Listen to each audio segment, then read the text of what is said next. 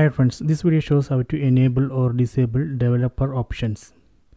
So first we need to go to settings. Select settings from the top right corner. Then select device preferences. Then select about. Then go down and here we can see build on build we need to press ok button on the remote seven times. One two three four five six seven. You are now a developer. Then go back. Then under device preferences you would be able to see developer options.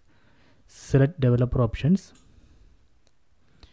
So these are the developer options. From this list we can enable or disable developer options. For example let me enable usb debugging okay now I have enabled USB debugging. If you want to disable again press OK button and disable.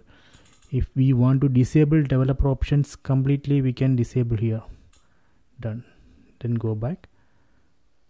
See now there is no developer options under device preferences. So this way we can enable or disable developer options. So please try it